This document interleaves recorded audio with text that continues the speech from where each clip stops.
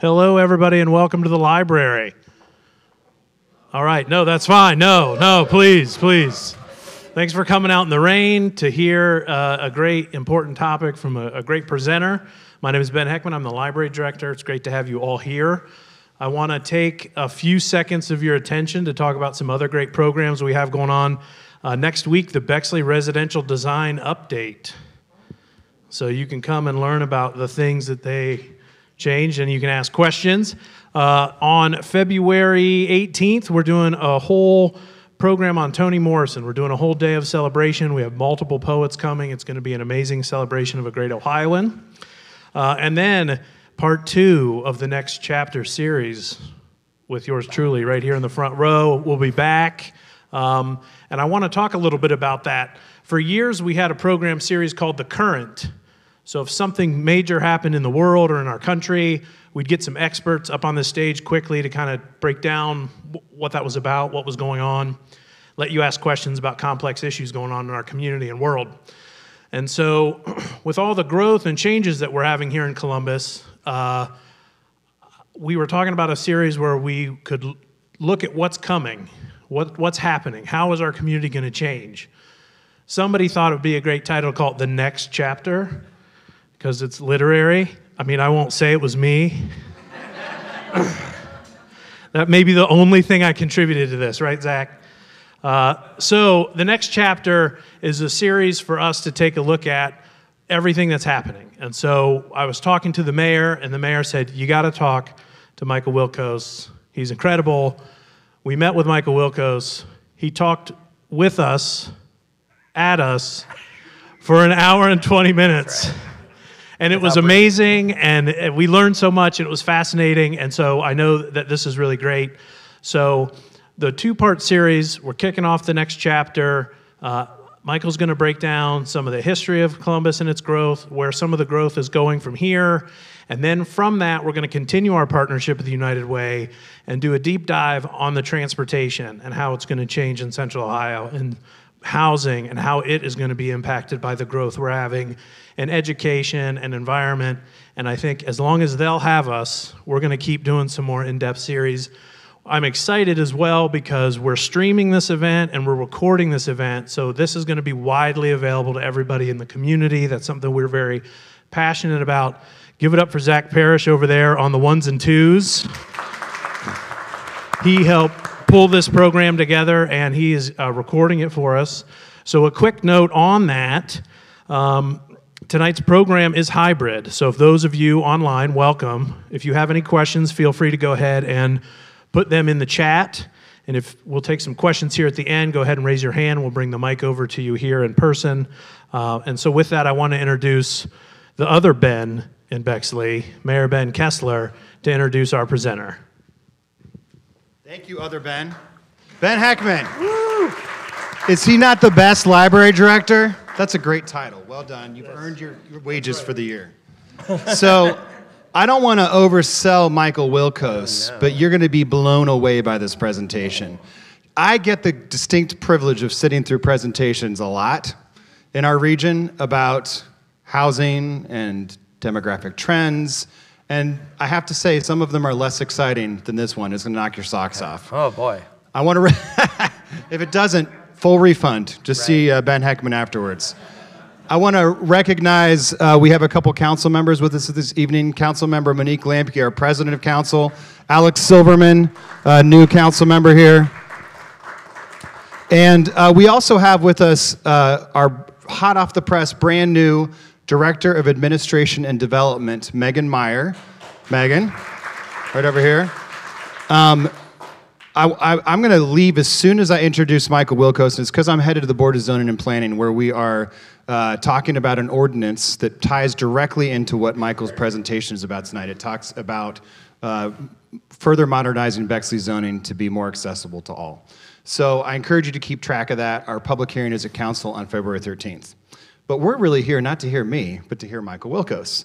And we're lucky to have somebody as tireless and knowledgeable. And he's tireless because he's all over the region right now uh, presenting. And he's tailored this presentation for us tonight.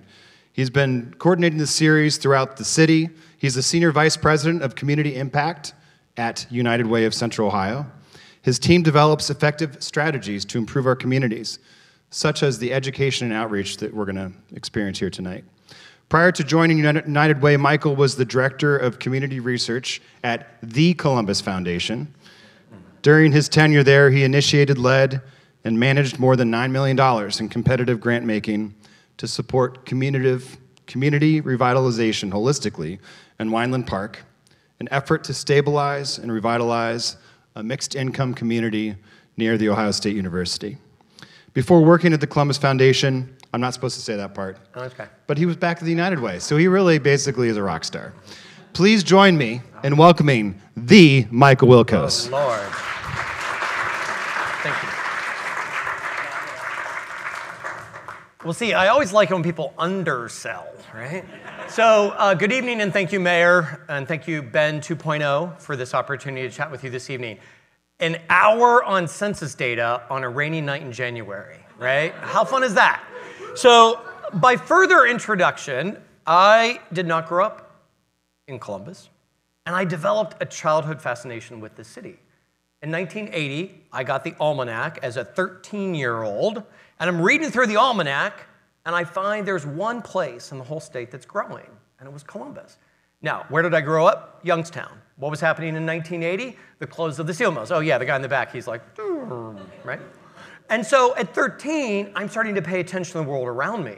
And the world around me was dramatic, right? Unemployment rate in Mahoning County skyrockets to 25%. The mills are closing. It's not a good time. And so I approached the journalism teacher at my high school newspaper and I say, I want to write an article encouraging everybody to move to Columbus when they finish high school. and she's like, uh, yeah, I don't know there's really a need for that in a high school newspaper. And I was so upset that I got blocked with this amazing idea. I took an ad out in my high school newspaper in 1985, advertising Columbus. So I've been working on this for 39 years. and I hope you like it. And if you don't, I don't care. so why would United Way be here to talk about Central changes? So my educational background at Ohio State was in geography and a Master of City and Regional Planning. And I really think of the nonprofit sector as the social mortar between the bricks and sticks. Right? It's the glue that ties a lot of people together. And what I have learned in my 20 years as a grant maker is people are feeling really nervous right now. And so, by a show of hands, how many of you grew up as a kid in Franklin County? How many of you grew up somewhere else in the state? Ah, a bigger number. And what about somewhere else in the US? Wow, that was actually the smallest number of people in the room are Columbus born. Uh, anybody outside the US? I knew it. Where? Yeah, okay, good for you. My mother was a Canadian citizen. Uh, so when the census data came out, I curated a presentation to help the nonprofits really understand that. And it was an online presentation, and 400 people tuned in to watch it. And it just kept kind of growing. And so when I met with folks at the library, when the mayor heard it, uh, we curated tonight's conversation. So what am I going to do? Uh, and who is United Way? We've been around for 100 years. We fund 91 nonprofits. They're entirely in the space of basic needs food, hunger, homelessness and student success, kindergarten readiness, social emotional learning to make sure kids finish high school. But where are those nonprofits located? They're located in neighborhoods experiencing incredible change. So when I put this presentation together, in my mind, the audience was staff at nonprofits so they understand why it's so hard for them to do their job. The boards of those nonprofits so they can set policy and direction and then we were providing the presentation to corporate organizations and donors. And it's just kind of grown from there because you're all here because you're interested in the future of Central Ohio. So I got one more pop quiz survey. By a show of hands, how many of you feel more optimistic about the future of Central Ohio than you do about the future of our country right now? Look at that. Okay. How many of you saw this? What, what, what was that? Is Steve Heiser causing a problem already? All right. Well, the wife of Steve Heiser, condolences, ma'am, for doing. No. Great guy. Okay, how many of you saw this 1991 movie with Ed Begley Jr. and Stockard Channing? Oh my God, you saw it? Almost nobody has seen it because it bombed at the box office. But what do you see about this picture? It's a family. It's a family of insects. It's a human family, but the origin story is they are, in fact, a family of insects in the Amazon rainforest, and they're very upset in American behavior that's contributing to global warming. Ed Begley Jr., he's been an environmentalist for a long time. Stockard Channing's his wife. They live in the suburbs. Kids could get B's in school, not C's, not D's. They've got a dog. And he's trying to figure out how are they going to dismantle American energy plants? They have to be undetectable. So they have to blend into American society, and they want to be as average as they can be. In the beginning of the movie, do you remember the scene? In the beginning of the movie, he's going through census data, and Ed Begley Jr. says, Aha, Columbus, Ohio is the most average place in America. and this movie takes place in a fictitious Columbus suburb called, wait for it, Median, Ohio which, by the way, looked like Bexley in the movie, right? Okay, that's what we were known for a long time. That's why we were a test market.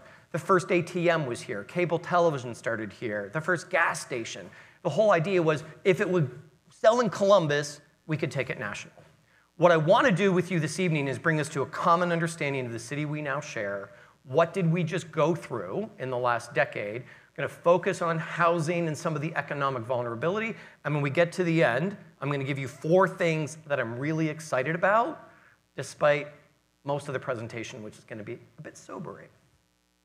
Start with this quote. Longtime Chicago Tribune columnist, our dilemma is that we hate change and we love it at the same time.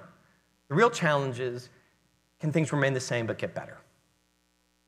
This room is optimistic. A lot of rooms I go to aren't. So the feeling is could Central Ohio be getting better for me, but not getting better for my neighbor? And what does that mean? It's usually the high housing costs that are giving people uh, consternation. This is what's driving that. In the last 12 years, we have added 263,000 people. And while that is true for Central Ohio, the rest of the state lost 20,000 people.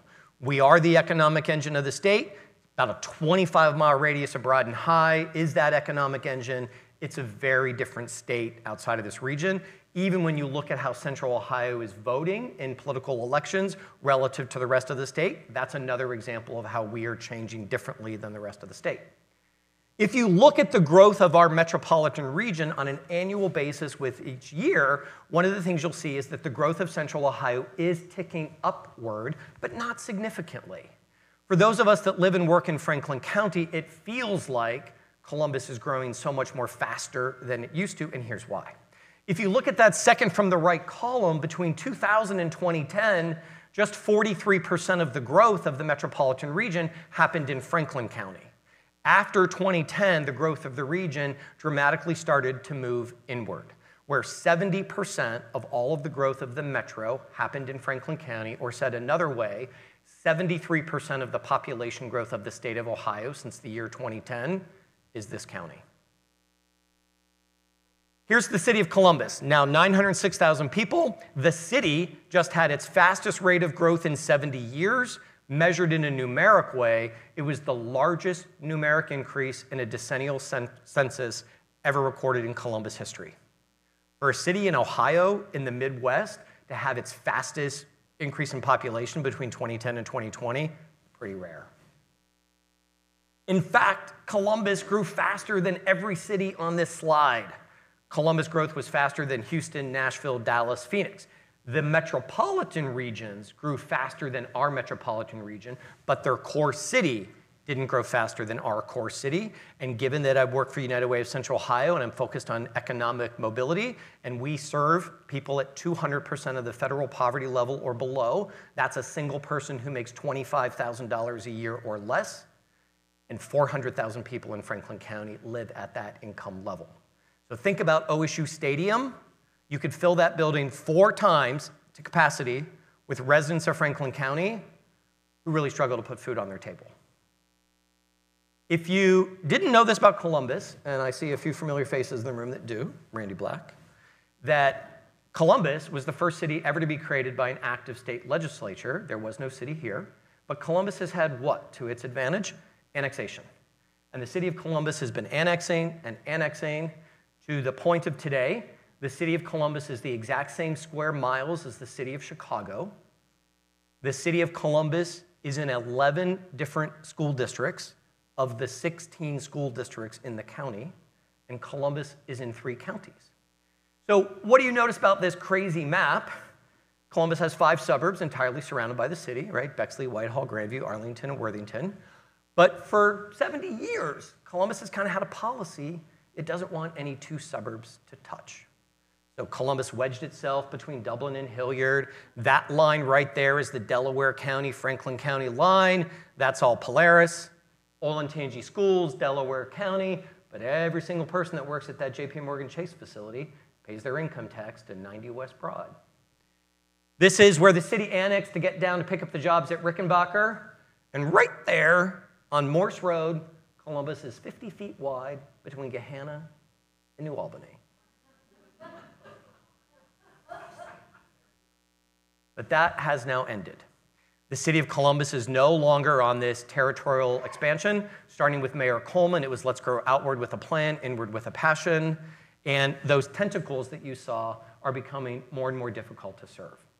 In the last decade, the land area barely budged, but we had to squeeze a modest sized city into those boundaries, and there isn't a single neighborhood that was unchanged by what just happened. Columbus is going vertical. Why?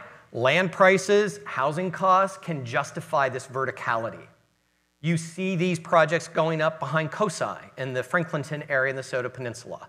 You see these projects happening in urban neighborhoods near downtown, changing the conversation on scale and density and parking. You also see it in the suburbs. If you look at the picture in the top right, that's Dublin's Bridge Park. It replaced a single story strip mall that had about a 15 year run. And as they've redeveloped that site, it's five and six and seven story apartments, condos, hotels, and office buildings. Think about Dublin. It went from 3,800 people to 50,000 in 30 years. It has a relatively typical housing stock of nice homes in suburban subdivisions, but there's a lot of people that have moved to Dublin over the last couple decades. They no longer want that 3,500 square foot home in Muirfield Village. They love living in Dublin, but there's not the housing diversity in Dublin that now supports their empty nester lifestyle. What is Bridge Park? That's about convenience. It's about being able to go on four or five vacations a year, not having yard work, not having house maintenance. If we're talking about the four, five, and six story buildings on High Street and West Broad and Long Street, that's about lifestyle for single people who haven't gotten married, who haven't started to have children. In many ways, our built environment is being reshaped, and it is nothing more complicated than convenience and lifestyle supported by demographic shifts of who are the Columbus households and it's reinventing the built environment right before our eyes. If you start at the bottom of this slide, look at what happened in growth in America. Growth in the United States slowed from 9.7 to 7.4%. It was the slowest growth rate in America since the Great Depression. Growth in America slowed by 28 percentage points. Go to the top of the slide. Right as growth in America was slowing, growth in the city of Columbus accelerated. Growth in Franklin County, the next line accelerates all of the increase for the state of Ohio was us. We also now have the most evenly distributed growth we've ever seen in decades. As we all know, what has the growth corridor been in Central Ohio for a long time? Hilliard, Dublin, Powell, New Albany, over to Gahanna. This is the most evenly distributed we've seen. We now have high growth inner ring suburbs like Grandview Heights, which chose to repurpose industrial land for mixed use development called Grandview Yard. You see high growth places like Grove City and Canal Winchester. Everybody is growing. Bexley, Whitehall. So much so, Whitehall's growing for the first time in 50 years. And we're going to get a little bit more into that here in a few minutes. To put this in perspective, since 2010, Franklin County was adding 44 people every single day. And on an annual basis, that means about 16,000 additional people you know the population of Bexley, it would be like Columbus, Franklin County having to build the entire city of Worthington every 12 months. The challenge is we've only been building housing for 11,000 people.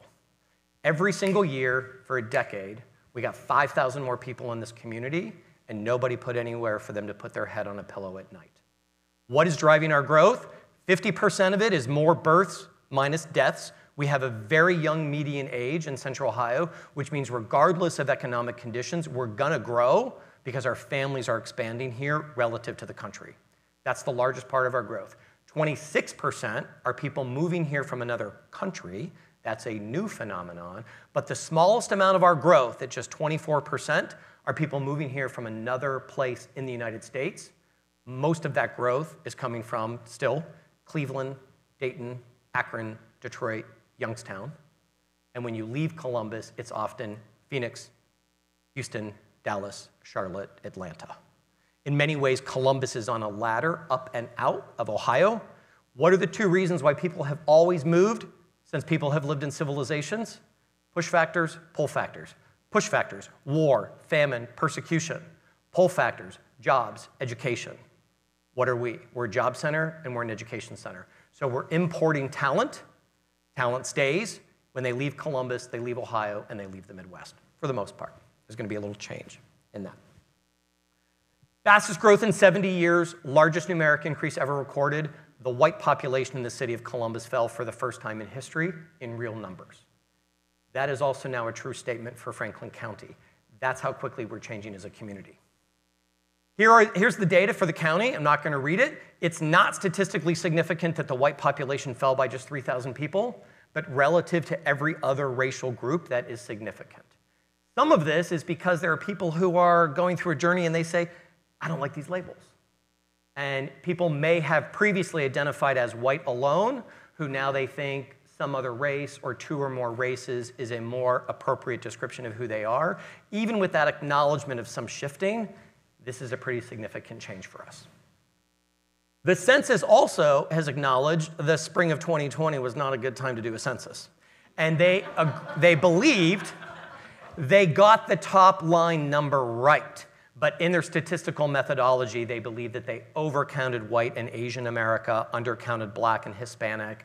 This would be that census methodology correction. So, really, the white population of Franklin County might have fallen more like 16,000 than the 3,000 officially recorded. When the Census Bureau goes back to do its own fact checking, they don't change the original count, but they can acknowledge that there's some nuances.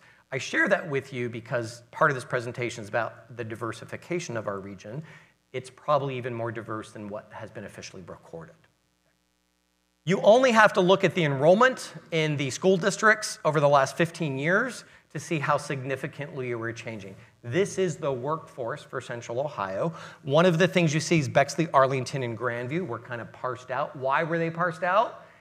Their school district boundaries and political jurisdictions line up the other one that does that is Whitehall, which is having an opposite experience, right, when it comes to change and diversity. And while Bexley, Arlington, and Grandview are getting more diverse, not getting more diverse, particularly with African American, but getting more diverse with other racial categories.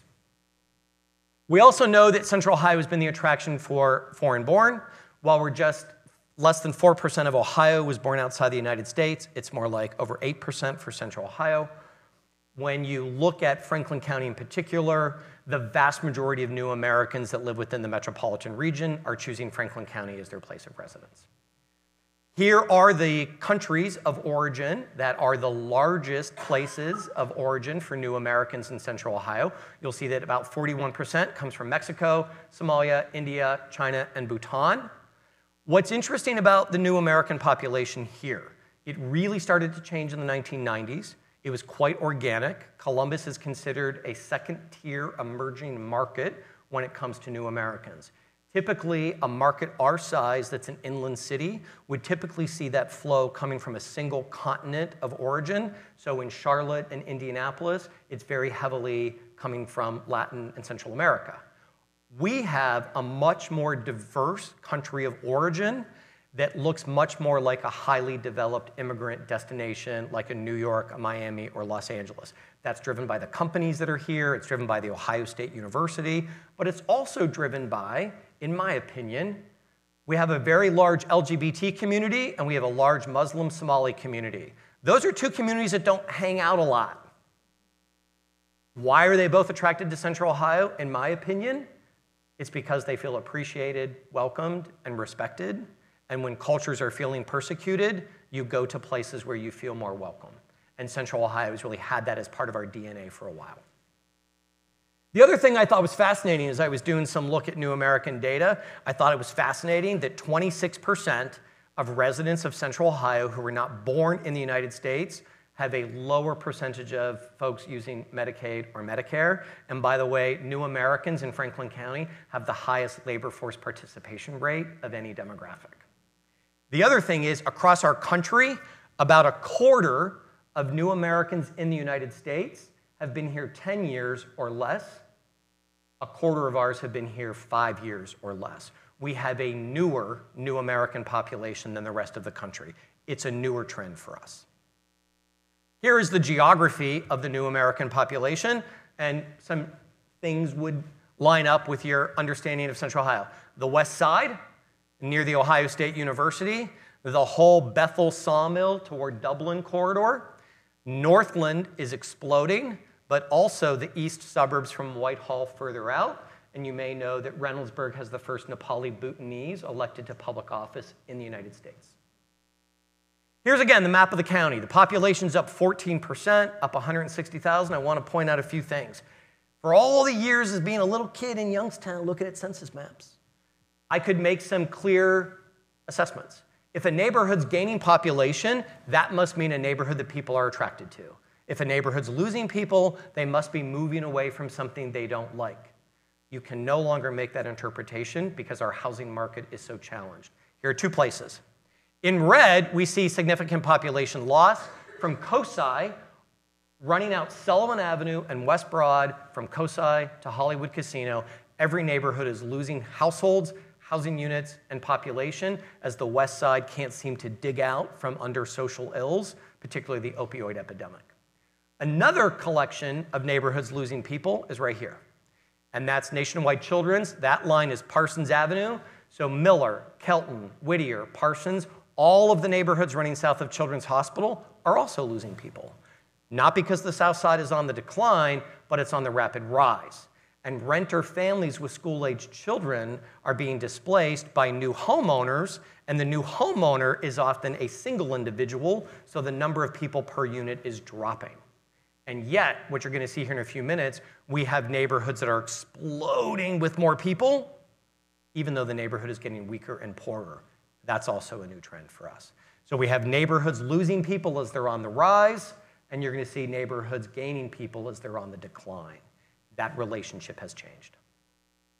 The other thing that is important for us to take hold of is the role that systemic racism and oppression really continue to play.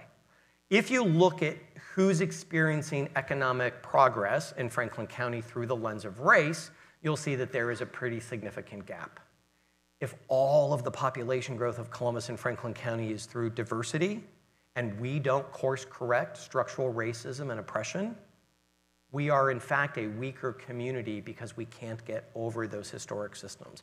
We can make a moral case for equity and we can make a business case for equity. I don't care which one you pick. Just pick one and let's get on with it, right? So, everywhere is getting more diverse. Here is the map in green that shows the increase in diversity since 2010.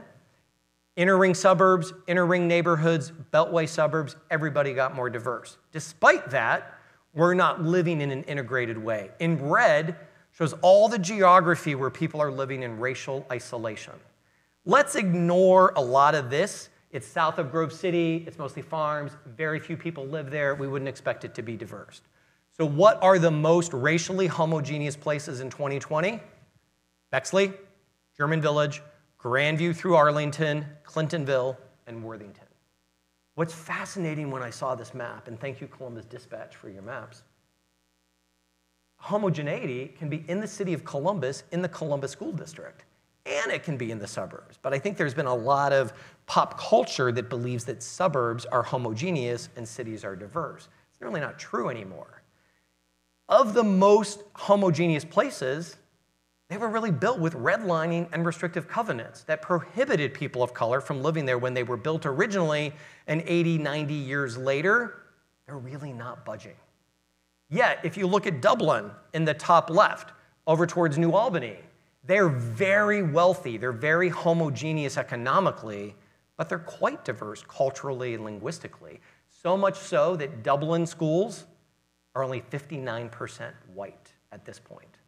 The zoning code basically ensures that Dublin is going to be high income, but because New Albany and Dublin have been built entirely after fair housing laws, they look different than Arlington and Grandview and Worthington. So when we look at growth in central Ohio, these are the fastest growing places. Three of them were farm fields that became development, and three of them were existing neighborhoods near the urban core. So of the six fastest growing places, it is now evenly distributed between existing neighborhoods rechanging their built environment and the traditional suburban development. But all six of them are in the city of Columbus uh, political jurisdiction. Now we know that downtown Columbus has surged. Every downtown in the United States has seen a similar experience. Ours was much broader than that. If you look at this shaded area, so starting at Grandview Yard, the 5th by Northwest corridor of 5th Avenue and King Avenue on the other side of Olentangy River Road, Italian Village, Weinland Park, downtown King Lincoln, we saw a 44% surge of people moving inward. And what were the demographics of those folks? White, young, and childless. I believe the shaded area has kind of filled up and land prices have gotten quite high. So, where is that momentum of that demographic push coming inward going to go in the next decade? It's absolutely going out East Broad and it's going to go out West Broad. And you see it now in Franklinton. If you uh, read Columbus Business First or the Dispatch, now there's a proposal for a 15 story tower to replace Spaghetti Warehouse in Franklinton. There are a series of mid rises and into high rises that are now popping up all over Franklinton. It could be by 2020, Franklinton is going to be a mid rise neighborhood that you see in a lot of other growing markets of our size. So now let's go into some neighborhoods. Linden is now a growing neighborhood. 11 of the 12 census tracts along that Cleveland Avenue corridor. So Cleveland Avenue is kind of running right up here. There's Westerville Road. Here's Interstate 71. This is actually the fairgrounds. That's the Ohio State University campus. 11 of the 12 census tracts are now growing in Linden. Linden is now growing for the first time in 60 years. I was so happy to see these numbers because one of my first jobs working for the city of Columbus after grad school was working in Linden. And I was impressed that Linden could absorb 2,600 additional residents. The city of Columbus just opened a $51 million rec center. That was a physical representation of the city's commitment to Linden. But as I started to go a little deeper into the data, I was like, oh, uh-oh, rut Linden's growing not because it's become a neighborhood of opportunity, but because people can't afford to live anywhere else. Those 91 nonprofits we fund at United Way, they've been telling us the same message for years. People are living doubled up. As people get evicted, they don't know where to go. And if you're living doubled up, where's that happening? Already disadvantaged neighborhoods. People aren't doubling up in the Short North or German Village or Worthington. They're living doubled up in neighborhoods like this. So in Linden, the population's up 2,600, but it lost 4% of its entire housing stock. I've never, in all the years looking at this data, seen neighborhoods that are growing as they're losing housing units. This is going to be a theme that you're going to see. There are 1,100 less vacant houses in Linden than there were in 2010. And what do you see about Linden's houses? They're small, they're simple. It's not the big 3,500 square foot house on the Near East Side on Mount Vernon Avenue that takes a lot to renovate. These are pretty simple to bring back. And the city of Columbus was focused on blight remediation, and 400 abandoned houses were demolished. So I'm going to do some math here 1,100 less vacant structures, 400 demolitions. That suggests about 700 vacant properties did what? Came back online. And through Columbus Dispatch analysis, we know that those properties are not getting renovated because a resident of Linden is buying the abandoned house, renovating it, and building wealth equity for the next generation. It's real estate investment companies that are able to pencil on paper investment in housing resources in Linden and they can get the revenue back out. Why is Linden growing? Because the housing market is so strained. The growth of the region's moving inward. We're not building enough housing. If housing costs are rising faster than your income, one way to deal with that have more people in the home to pay for it. What is that doing in Linden? Rut again. Here are two examples of houses at Cleveland Avenue and 11th between Cleveland Avenue and Columbus Metropolitan Housing Authority's Rosewind. If it's a quarter of a million dollars to live in Linden, where's the average worker going to go? Northland. Interstate 71 on the left. There's 270. That squiggly line is Alum Creek. So Easton sits here. There is Morse. There's 161. There is Karl. every single neighborhood in Northland is adding people, every single census tract. In fact, Northland added the entire city of Bexley into its boundaries in 10 years. 13,700 people moved into one Columbus neighborhood in a decade, and they only added 484 housing units. That's the entire city of Bexley moving into one apartment complex. Well, that didn't happen, right? What did happen? What did happen is Northland was the epicenter of the reduction in vacant and abandoned housing. 48% of all the vacant housing in Northland disappeared just like that. What you see here is a picture taken from Google Street View in 2010 of an entire apartment complex on Northtown Boulevard near Tamarack Circle, where the developer just walked away from the whole apartment complex, boarded it up. Housing market collapses in 2006, 7, 8. Northland's a weak neighborhood and a weak housing ecosystem, so you just walk away from product. Go to Google Street View for 2020, that apartment complex is back, right? That's paint and carpet.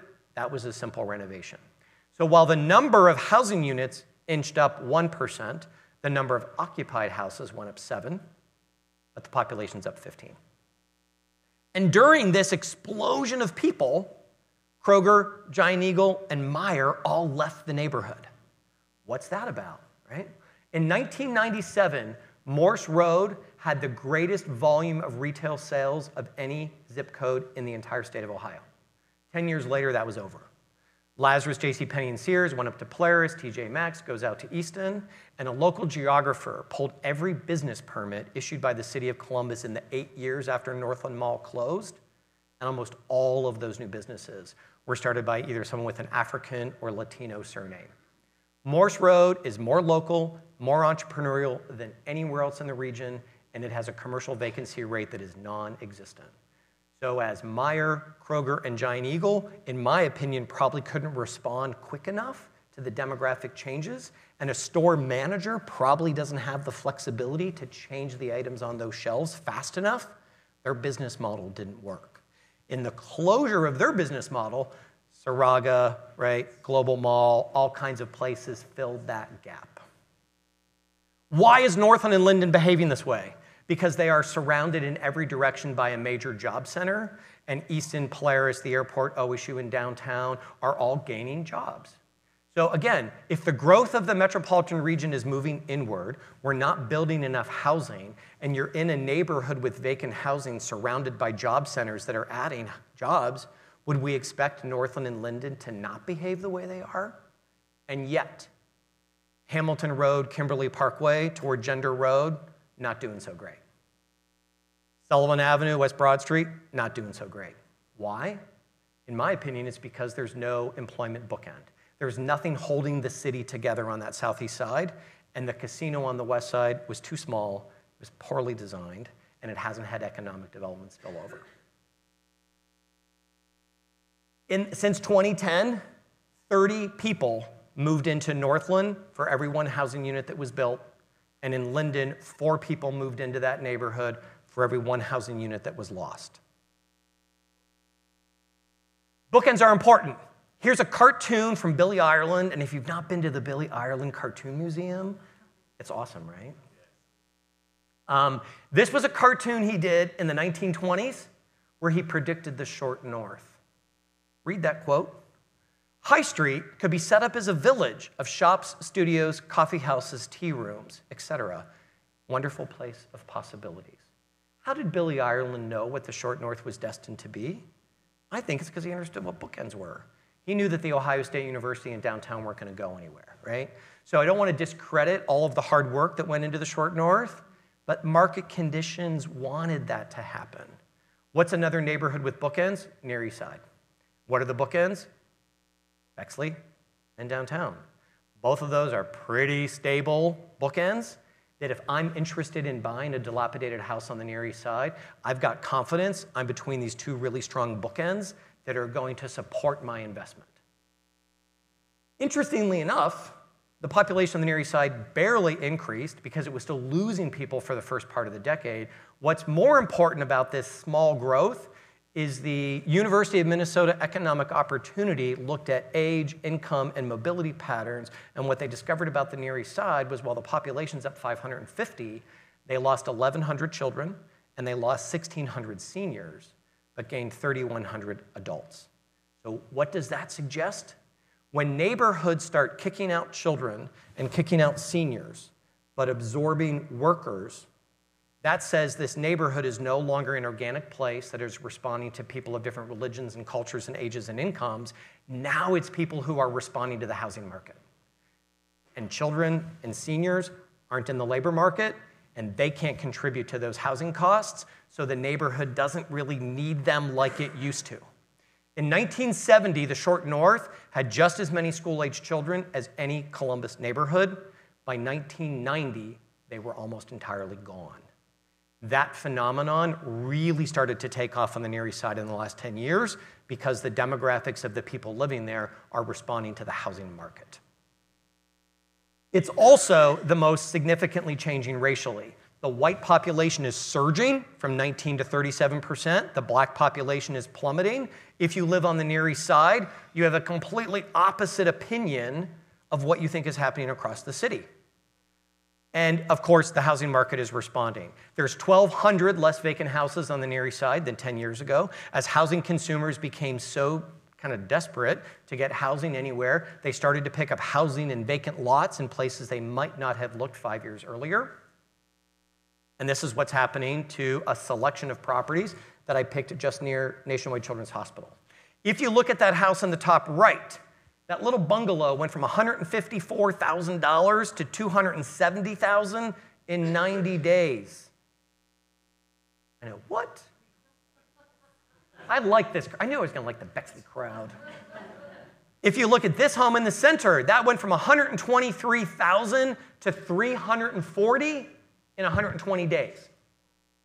That could be a great example of what might have been a rental home with a family with school-age children an investor buys it, flips it, stages it with restoration hardware. How many of you like just lay on your iPad on the couch and look at Zillow, right?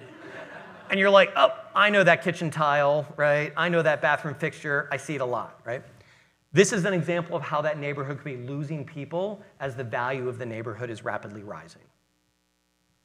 If you look at nearby Whitehall, fascinating transformation. In the, in the last decade, Whitehall lost 3.5% of all of its housing units, but added 11.4% more people. Crazy.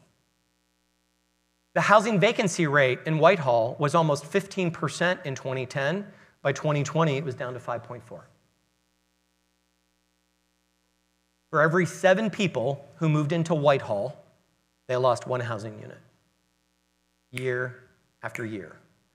And what's happening in Whitehall is the same thing happening near Children's, same thing happening at Cleveland and 11th. Look at the house on the left, from $20,000 to 250 in not very long time. And then as you get closer to the country club, where you have very nice homes in Whitehall, there you also see similar appreciation rates. When we look at Bexley, right, you've got three census tracts. There is population growth in all of them, so it's not as if there's one part of Bexley that's growing and the other parts are stable. You see relatively evenly distributed population growth. Bexley is changing slightly, but the rate of racial change here is lagging the rest of the community. Bexley is more like a Grandview and an Arlington and a Worthington than it is like a New Albany and a Dublin because of those historic systems of how the community was rooted and the strong percentage of people who want to continue to be repeat buyers generationally, decade after decade. Arlington is taking that on because the city manager of Arlington says people love Arlington, they love growing up there. Young people move away, they go to other big cities, they come back, they want to be in Arlington, but they want their children to have a more diverse experience. So the lack of diversity in Arlington is starting to work against them long term, and they're looking at how do they become a different community and there's groups in Arlington called Equal UA that are trying to look at how do they repair some of those systemic systems and the popularity of people wanting to stay there. If you want to stay there in Grandview and Arlington, what that means is those houses are going off the market so fast because a friend or family member is connecting you And if the community is almost all white, who do you think the connections are to more white people? Bexley also saw an increase in occupied units. Bexley, like the rest of the community, saw a decrease in vacant housing. Uh, when we look at diversity, the diversity index, you also see, right, that there is an increase in the diversity index for the entire community. We saw an increase of 10 points. When we look at some of the demographics, how does Bexley compare to Franklin County? It does compare in some ways, right? The white population in Bexley had the same experience as the white population in the county. The African American population is on the rise in Bexley, not on the same rise as the rest of the county, and the numbers are small. Other demographic groups are kind of trending similar to the rest of Franklin County.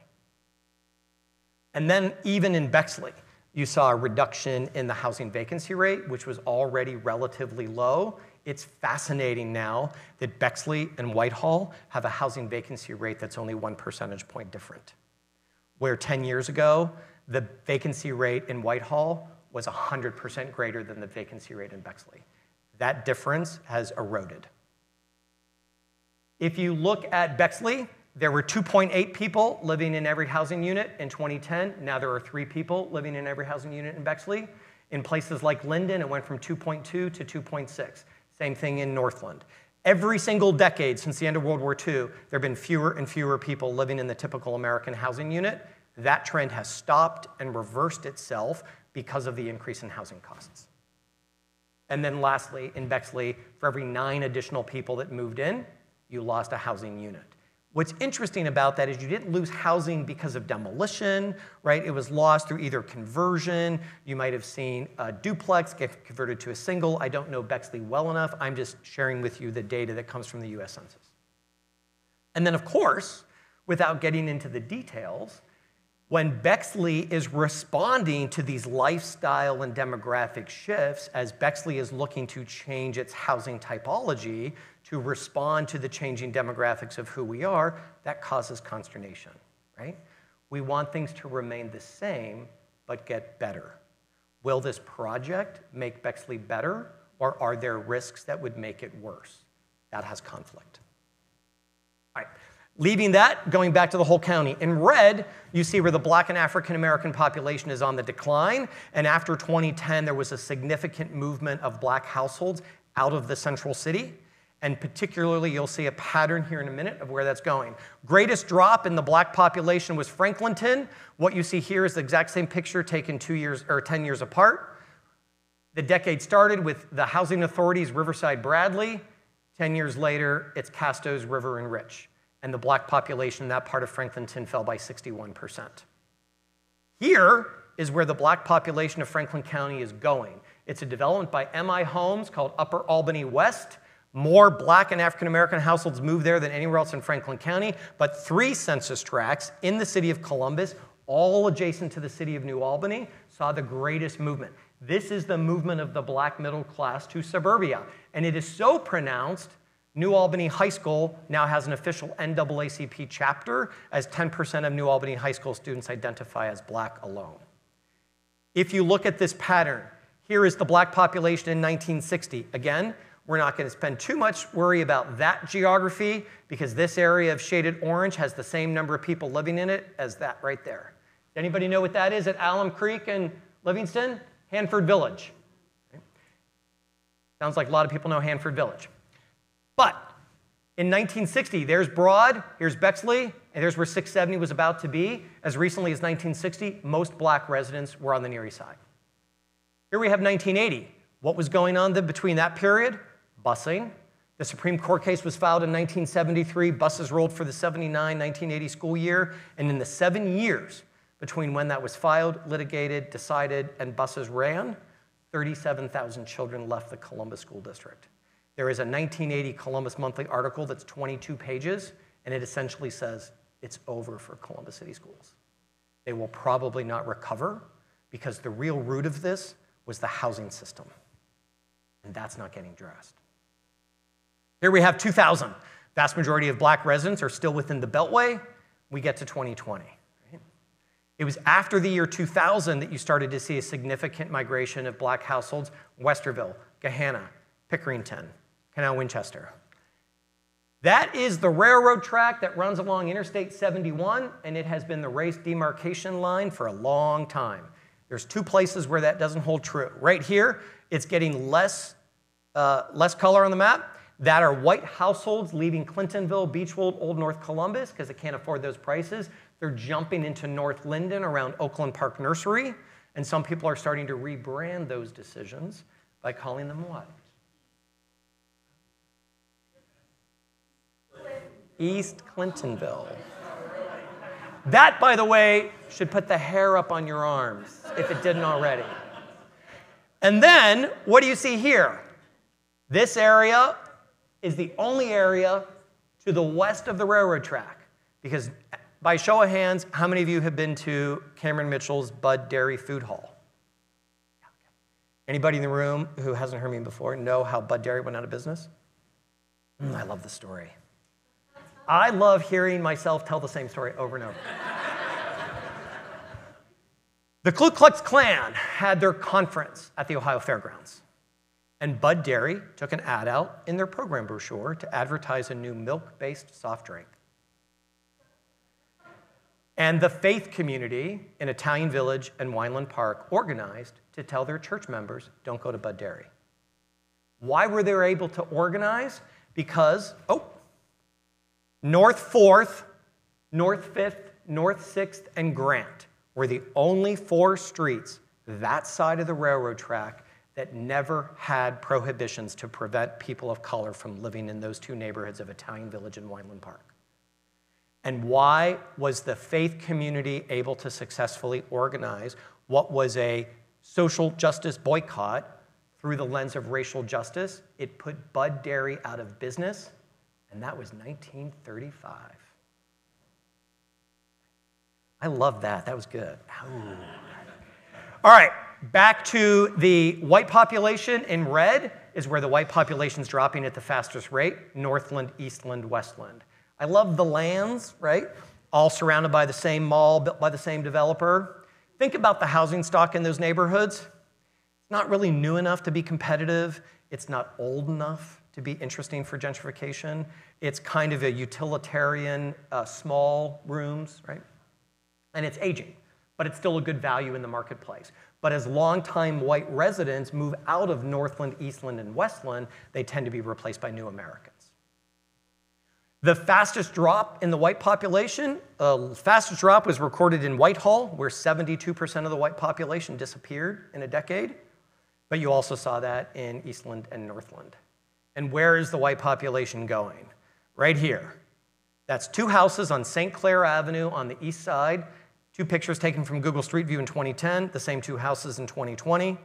Largest growth for white residents is Mount Vernon Avenue and Long Street, the neighborhood with the King Arts Complex, and the Urban League is attracting more white residents. We've got some racial musical chairs going on, right? Black households are moving outside the Beltway, white households are moving in. The white households moving in don't have kids. So while the Near East Side's diversity index went from 26 to 42, the Near East Side hasn't been this diverse ever but the school enrollment isn't budging. Here's a map that shows where the Asian population in Franklin County does not live in red and where the Asian population does live in green. One of the things I'll point out is Northland, where the Asian population jumped from 2,000 to 9,000 in 10 years. Most of that is Nepali Bhutanese. In many ways, you can think of it this way there's a Nepali Bhutanese community equal to the population of Grandview Heights now living in Northland, and 10 years ago it wasn't there. In this map in green is where you see the Hispanic population is growing. And look at the numbers from just 56,000 to 91,000 Hispanic residents in a decade. And where was the Hispanic community located previously? Whitehall, Northland, the West Side. Cultural communities will often choose self segregation for cultural safety.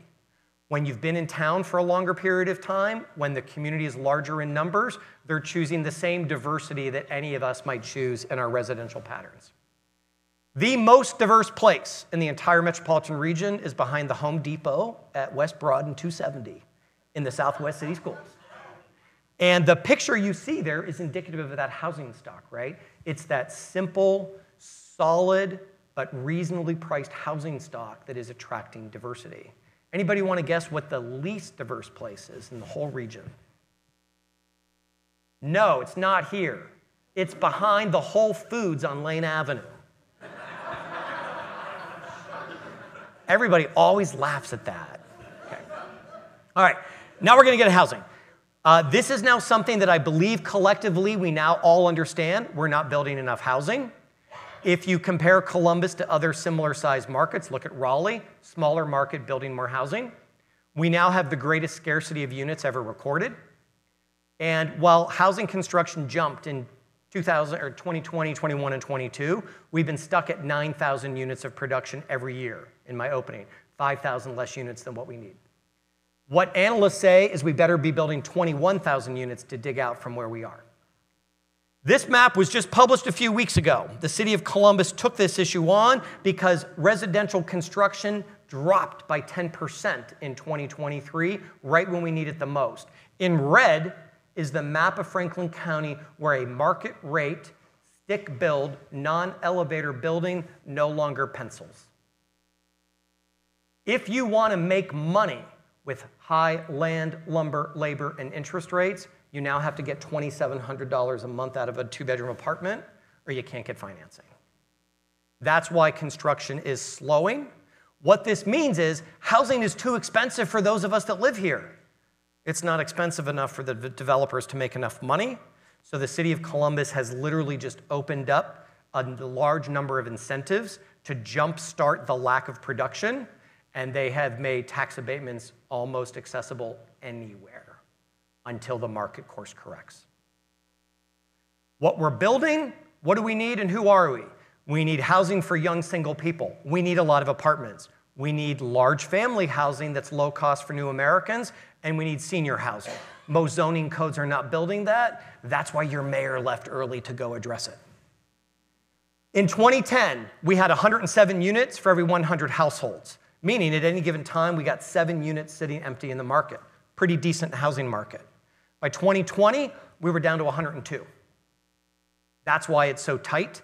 If we don't change our attitudes about welcoming housing, we will be at 96 housing units for every 100 households by 2030. That doesn't seem logical, but places like Denver and Austin, Seattle, and San Francisco, they've been there now for a while. This is what's happening with our home values. These were the home values as of May of last year. What you see in red are the top one third price point communities, and light blue runs that middle one third tier, and in dark blue runs the most reasonably priced one third tier. And I'm sure you're all paying attention with Mike Stinziano's lovely letters and emails. What do you see in this chart? Who's up the most? Whitehall, right? Housing vacancy rate plummets from 15 to 4%. They add 2,000 people but lose 365 housing units. Whitehall skyrocketing. Here is a more detailed map, neighborhood by neighborhood, block by block, that shows really where that appreciation is moving at the fastest rate. And what do you notice? Franklinton, south of Children's Hospital, running up that Cleveland Avenue corridor. North Linden's doing pretty well as well. Why are you seeing these neighborhoods respond so significantly? Because the value of those neighborhoods has been undercut for decades by redlining, restrictive covenants, urban renewal, highway building, and busing. So for decades, their appreciation just wasn't moving. Now the housing market's not building enough housing. More people are moving inward. So those places that have been suffered with low appreciation are starting to accelerate the lack of gain in a 36 month period. So Franklinton's up 100% in value in 36 months. Every dot on this map is where the city of Columbus issued a building permit, and this shows flipping. In my opinion, we will look back on the early 2020s and we will judge it with the same type of, wow, that was a bad period, as we look back on redlining because brown and black neighborhoods were hurt decade after decade by systemic systems as those neighborhoods were on the decline. Now those neighborhoods are on the rise, but many black and brown residents of those communities are still being victimized because they're not homeowners or they won't be able to afford the taxes or upkeep. What that has meant, as recently as 10 years ago, all of our housing costs, apartments, mortgages, we're running 2.7 times what you earn in a 12 month period. By 2023, that housing cost is now 4.1 times your annual income. Columbus now has the same income to housing ratio as Chicago. Columbus, in white, Central Ohio is in white, we've been polling people from the rest of the state for decades. And that's what it looked like a decade ago. This is what it looked like because of COVID. And what do you see? For the first time in history, Central Ohio is now losing people, not to Dayton or Cleveland or Toledo, but we're losing people to the ring of counties just outside the MSA. Why? If I only have to drive to work two days a week, I can drive a little further. And that ring further out hasn't seen that huge rise in value. What is the housing problem of Central Ohio doing? It's causing a heck of a lot of suburban sprawl and the loss of farmland where we don't need to lose it. And it's also causing people to live doubled up or end up in the homeless system. This is what it looks like now in Central Ohio. Look at Columbus on the far left. In blue is our housing cost. In red, that bar shows our income, and the dot is what you need to become a homeowner. Look at where the dot is for Columbus versus on the income. Go to the far right and look at Akron. Annual incomes in Akron are higher than the income you need to be a homeowner the gap is getting wider and wider and wider here. We're losing affordable housing because of that demand. What we're building is high priced. So rents here jumped 56% in a short period of time, and it's doing this. Starting on the left side of the map, that's eviction filings. Look at 2021, 15,000. 2022, largest number of evictions ever filed in history. 23 was a jump among the record. The middle bar, writs of restitution, that's how many red tags are getting put on doors. That was kept low, but in 2023, there was a gap in when that eviction money was made available. You also started to see landlords that are saying, you know what? I've been here before with you. I'll let you go this time. I can find another tenant. If you look at the far right setouts, in 2022, we only had 744 setouts out of 21,000 evictions. Let me put this number into perspective. That's units. If everybody that got filed on was to lose their housing, every man, woman, and child in Dublin would lose their housing. But we've got money to avoid that.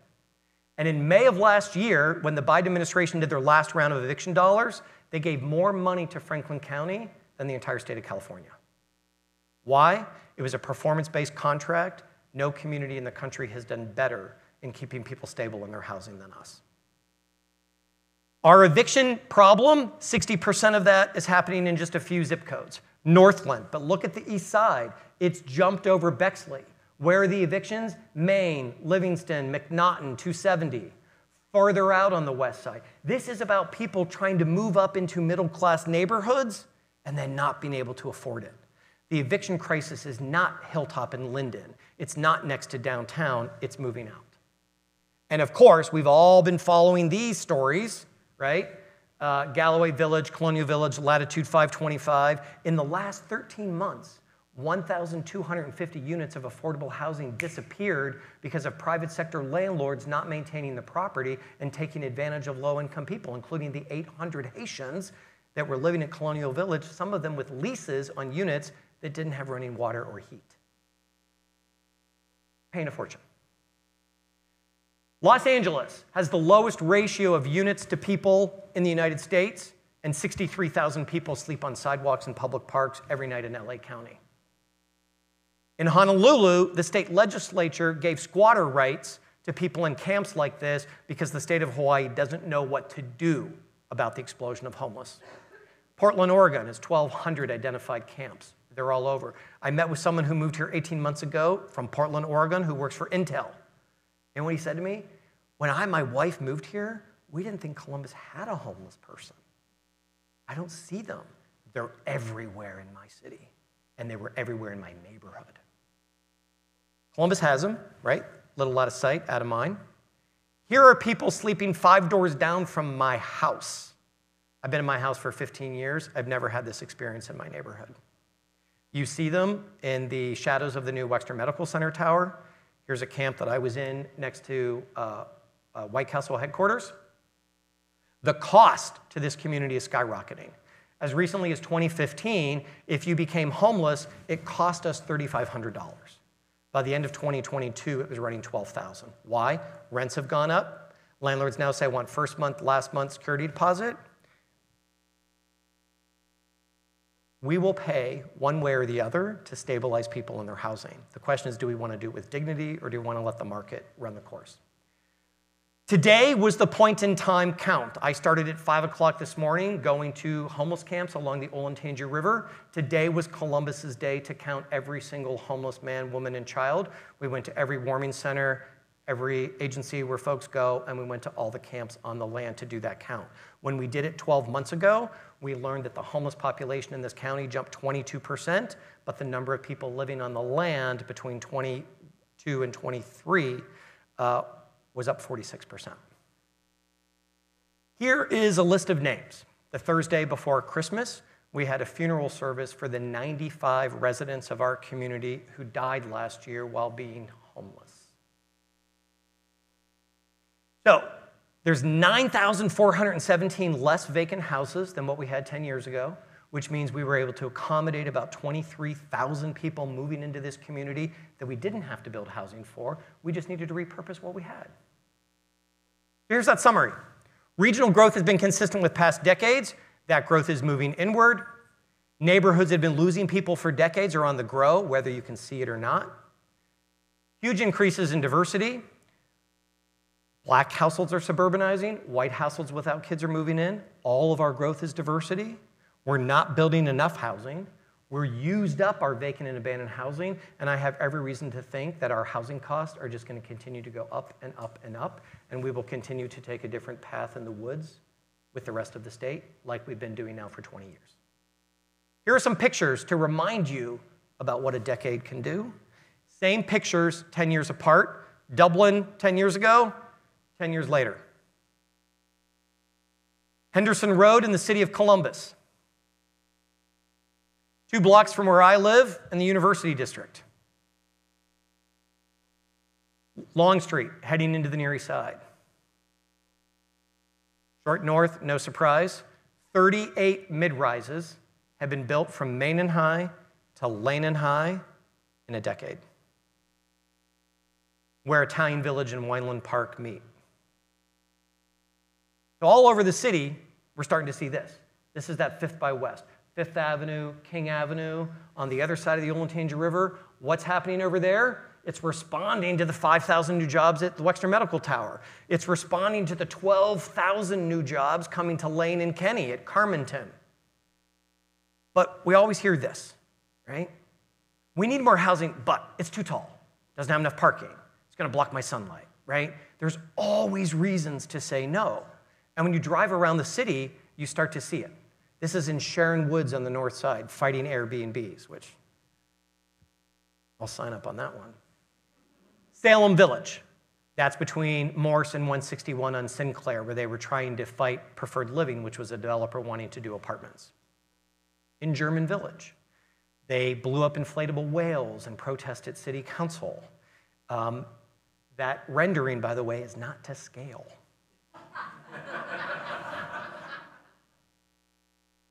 If you didn't see it, about a week ago in Dublin, the Dublin schools, Steve knows it, did an opinion piece on their blog where they called this product, which is an EPCON, 55 and older, senior condominiums, detached single family homes that start at $550,000. They did a blog kind of against it, calling this too dense. When ranch single family homes are too dense, we got a problem. But this is the one I love telling. Berkshire Township near Sunbury, a developer wanted to build 91 houses on 88 acres. And the houses would start at $550,000 starting price, which means they're 650, 700. Residents nearby went crazy. And they organized to stop it. And there were two quotes in a May issue of Columbus, Month, or Columbus Dispatch that said the following The woman said, 91 houses on 88 acres. Her quote in the dispatch was, How could anybody love their home when it's on such a small piece of land? Have you been to Bexley? like, there's a lot of things you can love, and you're missing all of it. The other quote from an opposition leader we don't want, this was quote, we don't want those people living next door to us because they'll just be transients. If $600,000 homeowners, if you can vilify them, you can vilify anybody. Here's a sign in my front yard. I'm part of a group called Neighbors for More Neighbors, right? Density means diversity, people over parking, apartments are awesome. I don't have a parking space, I don't have a garage, neither do the 28 other bedrooms on my quarter block. I can usually find my car. but the trade off is I live in a walkable community and I can go to the grocery store and Barnes and Noble and all kinds of places and I don't have to get on the car, right? All right. I'm going to wrap this up. It is nothing more complicated than a home is where a job goes at night. We have a collaboration and coordination around economic development that's pretty kick ass. We don't have that infrastructure around housing. We're going to continue to grow. There's no debating that. There's four things I want to end with to give you excitement. By show of hands, we're going to do another pop quiz survey. If you know the term link us in five words of what it means, raise your hand. Okay? How many of you know zone in? Affordable housing bonds for the city. I see a lot of the same hands. Source of income ordinance. Well, you don't know that one?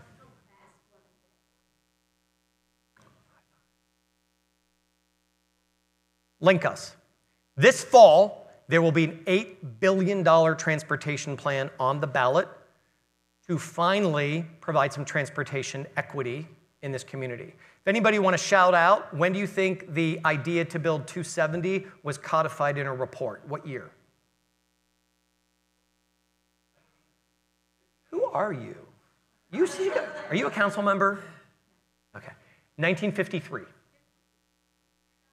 It opened in 1977 Took 24 years to build, nobody voted on it, and the Columbus Dispatch, when that east leg was finally completed, the Columbus Dispatch called 270 the highway to nowhere.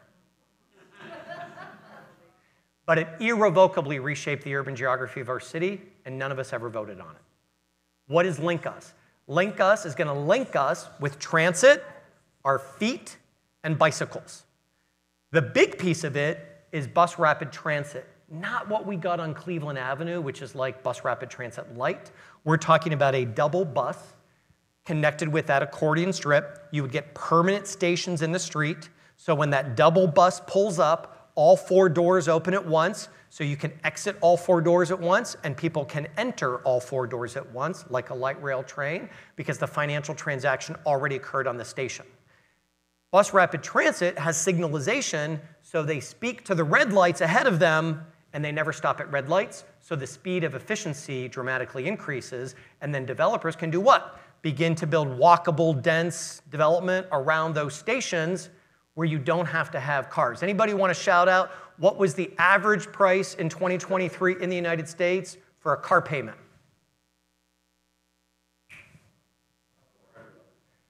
You're wrong. 728.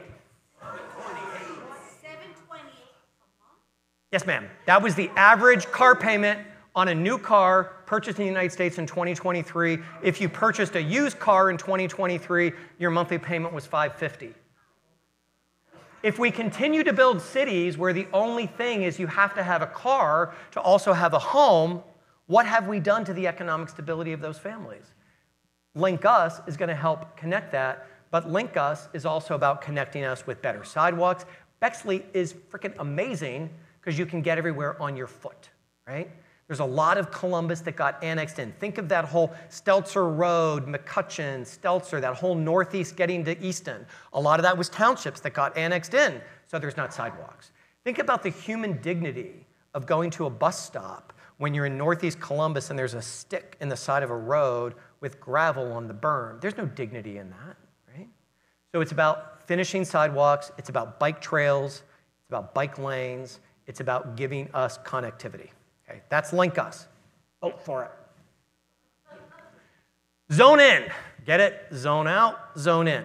The city of Columbus has said its zoning code is 70 years old. They have rewritten it and rewritten it in every little piece, but it doesn't work for the city.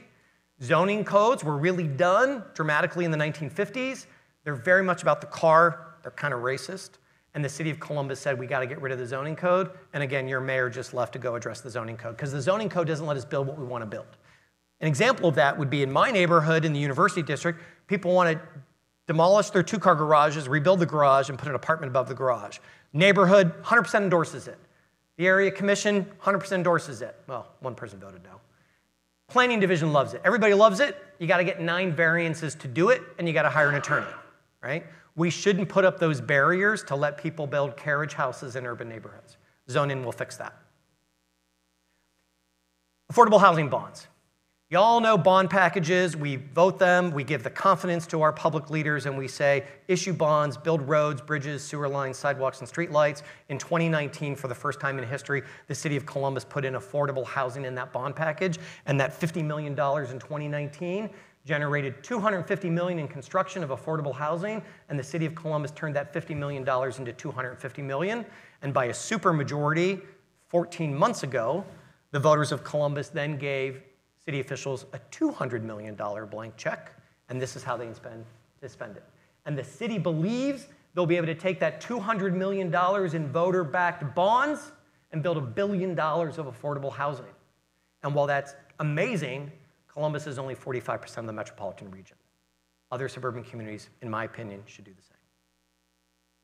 And then our source of income. Thank you, thank you, Bexley because Bexley was the first city in central Ohio to pass a source of income. Up until a source of income, landlords would only look at your earned income to qualify your eligibility for that unit. They would not include alimony, child support, Social Security, veterans benefits, and certainly not Section 8. Source of income says you, as a landlord, cannot deny someone based on their legal source of income, meaning federal supports. Bexley showed leadership in September of 2020, passing a source of income ordinance. And since Bexley showed leadership, Columbus, Whitehall, Westerville, Gahanna have followed. Grandview Heights has their hearing, their third hearing on February 5th. It's struggling there, which is a little odd given the high percentage of Democrats in Grandview. So I thank you. Oh, oh.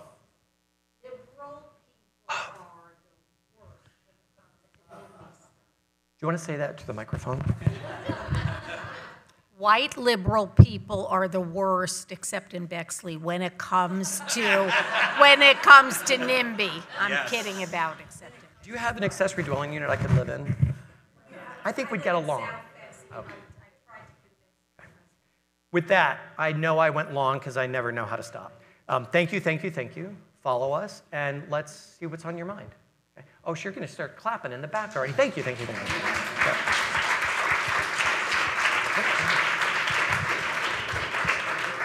Ooh, I went long. No. Uh, if anyone does have a question, please raise your hand so we can get the mic. That way, those online can hear as well. And I know it's almost eight, so leave if you need to leave. I'll stay. We'll have some good times. Thank you for that. Um, what have we seen from development of old strip malls and commercial zoned areas to get housing and reform those areas. I know there's challenges with yeah. zoning, especially with strip malls, the giant Bryce Road and Eastland Mall areas. What, what have we seen? What have you seen? I believe the challenge is not the zoning, it is the lack of interest in market rate housing consumers wanting to live in those areas, and so there's not demand. So if you have these fixed costs, land, lumber, labor, interest rates, if you're going to build something, you have to deliver it to the market and expect a certain rent. Gender Road and Hamilton Road at Eastland isn't going to command that rent. So, in my opinion, the only way you take, and think about this there is an almost zero commercial vacancy rate on Morse Road. What's the commercial vacancy rate on Hamilton Road from 70 down to Refuge? It's terrible, right? So the market's not there, and there won't be a market for that retail. So it does need to be repurposed. The city is doing those capital improvements along Hamilton Road to look at transportation equity. A little late to the party, right? But in my opinion, those places need more than a zoning code overhaul to make those strip malls come back to life with a greater purpose. They're going to need a significant amount of subsidy to get the numbers to work, and we're just not there yet. The other thing about Columbus is, and uh, Bobby Schottenstein's great at this stuff, right? MI Homes builds in 18 markets. He goes to all 18 markets three times a year, and he's 40% of every brand new home that is built in Central Ohio. And he says the reason why he is 40% of all the homes, national builders are just not interested in coming here. He said Columbus is too small of a market, the profit margins are too small. His company, MI Homes, can deliver the same square footage of a house in Metro Houston for $130,000 less than the same square footage he can build in Columbus. And he says the number one difference between his markets there and here is how large his lots need to be in central Ohio because zoning codes and pressure expects that. He said if every place in central Ohio had Columbus's policies, we wouldn't have a housing shortage. And the interesting thing is, right, Columbus has been a large share of the metropolitan growth. But that era of Columbus being a large percentage of that growth is probably going to shift because where Columbus is going to see more of that growth is going vertical. And right now, what do you see? Five and six story buildings, because those wood frame buildings are what financially makes sense. Once you go above six stories and you go to seven or eight, you got to go to steel. So if you're going to go to seven or eight, really eight, you might as well go to 15. Well, you can't get the parking, you can't, land costs aren't high enough. So Columbus is a little kid. We're kind of an awkward teenager, right? We don't know where we're going to be yet, but we're going through a really awkward time period. And that's causing, I think, this consternation. Good question, though. Oh, you just went out of here. Oh, yeah. With all that you said, where is all this affordable housing going to be built? And will it meet the needs of the largest sector? I mean, the most common jobs pay $15 an hour or less. Yep. Think so, about this a registered nurse with two children who makes $75,000 a year qualifies for an 80% AMI area median income unit. A construction worker, a, fair, a modestly skilled construction worker, single person making 50,000, that's an 80% affordable unit. Any one of us that ever goes out to dinner just came into contact with someone who needs a very deep affordable unit because the average annual salary of a cook at a restaurant, a sit down restaurant, is $29,000 a year. That person needs a 40% AMI unit. Those are really hard to find. Think of hairdressers. Think of people who are running daycare, taking care of our children, people who take care of our parents, right? Who then don't have the ability to live. So the point would be is the demographic of who we're talking about is not some undeserving people, right? It's about people navigating that market. If we grow by 750,000 people in the next 25 years, if the current percentage of people who are poor and working poor just stays where it is, that's 200,000 more people coming that are going to need a below market unit. Where is that moving? Poverty in central Ohio is moving east. It's jumped over Bexley, right? It's left the Near East Side. It's leapfrogged over Bexley. And now poverty is running out Main, Broad, and Livingston in an unstoppable juggernaut. It's also heading northeast to Westerville, and it's heading out Sullivant Avenue. That's where it's going to continue to go, which means Columbus is going to continue to have the moral and business responsibility to house the region's low income workforce. And in my opinion, the city of Columbus should not be burdened with that sole responsibility. So, Columbus, zoning updates, transportation connectivity, the public citizens investing in affordable housing the way they're doing with bonds, and other leverages that the city of Columbus is doing. It is my belief that the adjacent counties and suburban communities need to mirror some of the things that Columbus is doing to prepare for that growth. It's coming, and we're going to be a very different city. While the white population only fell by 3,000 people, we started last decade 69% white. We ended the decade 60% white. If we continue to change this decade as last, we may not have a racial majority in this county as soon as 2030. We have to get ahead of that stuff, right? If big companies are struggling now to keep full employment, and in a very short period of time have, and they can't figure out how to do strong diversity, equity, inclusion, and cultural competency, and they can't attract non-white folks to work there or feel confident to stay, where are they going to be in the near future, right? So all of these things kind of work together. That was a round the circle answer to your question. There needs to be multiple solutions, but we're not doing enough regionally. I think my strongest answer is the solution to your question is regional. It's not going to come from the feds. It's not going to come from the state. It's going to come from us. And we've been kind of asleep at the wheel. We'll go here and then back. So I understand clearly the need for affordable housing, but in terms of marketing, Yeah. affordable housing has to be in neighborhoods where, or in communities where there are other resources good schools, libraries, parks, transportation, grocery stores. How does that all fit in together in a bigger package?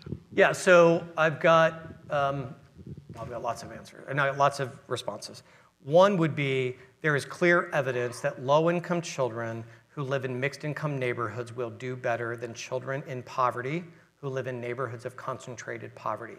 Concentrated poverty is bad for people in poverty and people not in poverty, and that's when you start to see neighborhood systems fall apart. The magic number that I've seen is when a neighborhood's poverty rate hits 40%, that's when the neighborhood really starts to fall apart. Um, Steve has been involved with a group. Uh, oh. Well, then why am I giving you the answer? you know the answer. And that is, right? Um, families flourish, move to prosper. The whole idea was what if we can deal with the housing gap and we can take a low income, usually female head of household with children, and support them and they can move to a better neighborhood where there's good schools, where there's transit accessibility. And I appreciate all the work that has gone into your efforts to ensure that those low income working families get to be in better neighborhoods. So, what do you see? You see better health outcomes, you see better educational outcomes when people can move to better neighborhoods. And I think that small subsidy that you talk about in providing that rental gap, Bob Weiler and Don Kelly made a lot of money on real estate. What they doing in their retirement? They decided to create a new company, sell a lot of apartment complexes that they built over the last 30 years, sell them at half off. One of those would be Copperleaf Apartments on Sawmill Road. They sold the entire apartment complex to a new entity that's a nonprofit entity where the housing authority owns the real estate so they don't have to pay taxes and they can keep those apartment complexes in resource rich neighborhoods and keep the rents low. That's an example of where corporate philanthropy and individual philanthropy is helping to fill that gap. But to your point, it has to be a whole system and series of things. If you look at evictions, that map that I showed you where the evictions are happening in Franklin County, that's where all the elementary schools that we're working with in Success by Third Grade. When you look at the elementary schools with the most number of kids not reading at third grade, it lines up with the geography evictions like lines on a spreadsheet. Is there a direct connection between academic vulnerability of children and the housing stability of parents? You bet. Yes.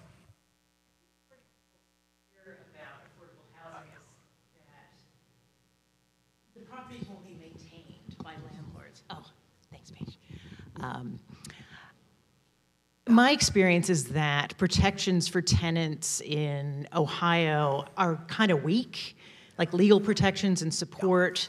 Um, Is any work being done on that to help maintain rental properties, since renters are not going to do things like fix the gutters, paint the the outside of the house, things like that? So the state legislature is not kind to those kinds of things. Um, but I believe you hit the nail on the head with the single word in your question of fear. I know many of you drive up North 4th Street from downtown. You go through Italian Village, you go through Weinland Park. A lot of people look at the changes in that physical neighborhood, and what is the conclusion that you make? Gentrification, gentrification, gentrification, all day long. Why do you think that? Because we have created middle class constructs of what we think low income people and what we think low income housing looks like. So I live in a neighborhood that has a 75% poverty rate. My neighborhood is a 9% homeownership rate. On my, within a block of my front door, I have supportive housing, so 60 units of housing for people with chronic homelessness and addiction. I have Section 8 housing, Habitat for Humanity. low income housing tax credits. An illegal house, meaning it has illegal units in the attic and the basement without proper fire code, but the rents are really cheap. And I have a building of all sex offenders, mm, seven buildings away, seven houses away. Uh, a house two blocks from me sold for $30,000 in 2010. It just resold for 650. This connection people have that affordable housing is somehow going to hurt my value, it is just not substantiated in the research. You are correct. People have a fear. What was the picture I showed? Galloway, Colonial, Latitude 525. That was all private sector. That wasn't government housing. It wasn't even nonprofit housing. So when you drive up North 4th Street and you used to have abandoned houses, and now you see those brick row houses with the flower boxes, right? And the window transoms and wrought iron railings, it's all still Section 8 housing. I live right across the street from Section 8 housing. It used to be privately owned, now it is nonprofit owned and managed. Friends would come over and they'd say, Oh, how much are the condos going for across the street from you? Nope. It was Section 8 before, it's Section 8 now. The difference is it's now managed by a nonprofit company. If you look at Homeport, Community Housing Network, the community builders, community properties of Ohio, you could not tell that that is affordable housing. So I think the industry has course corrected some of that fear. We as society have that fear because we're also vilifying the people who live there. Because what has our culture done? It is said, I believe our culture values people who are successful. So if you have accumulated success and material resources, you are somehow a good person. But if you're poor, that's somehow a character flaw, right? We're talking about the people who make sure your parents get their adult diapers changed, and take their medication. We're talking about the people who are in daycare centers with your children, and we're talking about the people who work at the restaurants, and they deserve dignity, and someone has to do that job, and it's never gonna pay the living wage to afford the housing costs. So, what I would suggest we need to do is no longer say affordable housing, but we have to have a real conversation about housing affordability, and housing affordability now has all of us in a little bit of a vulnerable moment.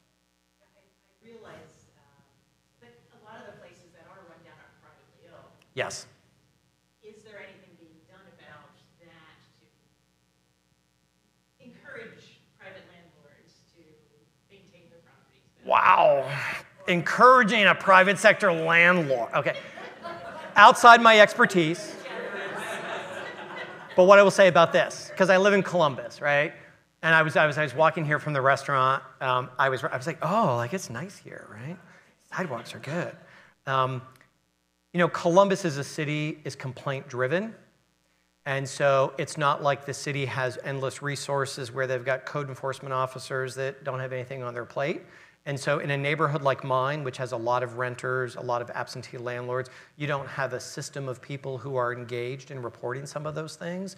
But as someone who's lived in the city of Columbus for 35 years, when I call 311 and I need things getting taken care of, it gets taken care of pretty quickly. The other dilemma in a neighborhood like mine is I've got that building on the corner that has seven units that are probably all illegal, and there's some not good stuff going on there, but the rents are like $425 a month, and almost everybody that lives there has some kind of mental health disorder.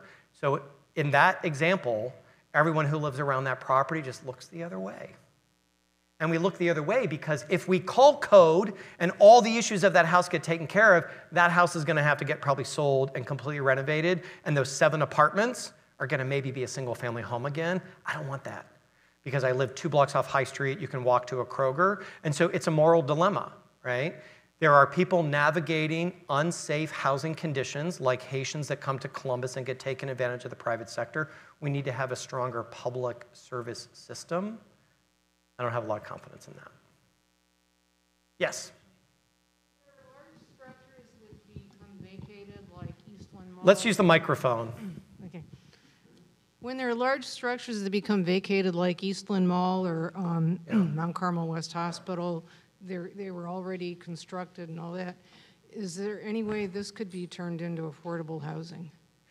Sure, right? And the city of Columbus, both Northland Mall, Eastland Mall, those examples, that's where thankfully All the jobs at Tuttle Crossing and Easton and Polaris and Rickenbacker give that city of Columbus that revenue stream. When you look at the most fiscally sound American cities, number one is Austin, number two is San Antonio, Columbus, Ohio comes in number three. We've consistently had that AAA bond rating because we have a large number of um, workers relative to that need. And so the city of Columbus needs the financial resources like that voter approved bond package to purchase those sites, redevelop those sites, and make them available for affordable housing. That is now happening because of those public supported bonds. So we're late to the game, but it's happening. Okay. Public sector won't necessarily, I mean, private sector won't necessarily do that. You have to Right. get the city involved. Right, and back to the other question. The private sector is not going to Hamilton Road, Kimberly Parkway, Brice Road. They're not going to Morse Road. They're not going to 161. The public sector is going to show leadership. I will stay to answer any individual And questions. so we talked him up. Did he disappoint at all tonight? No. And Thank you. and he's going to be back February 22nd at 6:30 p.m. I need to write that down. You, you need, and you need to tell all of your friends because how many like amazing aha moments did you have in this presentation tonight? It's all happening around us, and so many people have no idea that it's going on. So tell your friends, be back here February 22nd, and hopefully we'll announce some of our other programs at that point. Thank you again, sir. One last thing. I will make the entire slide deck available. Um, is there a way to do that? I think we can do that, and I believe that it'll be on YouTube in like another day. Oh, Lord. This whole thing. Okay. this whole thing. And I think we can probably put the slides in the YouTube and, and Oh, yeah, uh, on the library We'll do website. the link. Yeah, Yep. we'll do the link. Thank so you. thank you so much for coming, and let's hear it again for this guy. Thank you. Thank you for being here. Oh, I got to stand back. You're so, you're so great.